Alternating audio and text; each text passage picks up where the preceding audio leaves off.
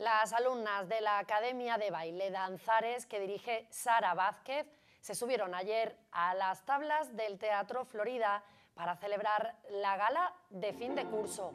En dos funciones que se celebraron ayer por la tarde, mostraron ante un patio de butacas lleno de público todo lo que han aprendido sobre danza clásica y flamenco durante los últimos meses en este centro que cuenta con un gran número de alumnos de todas las edades.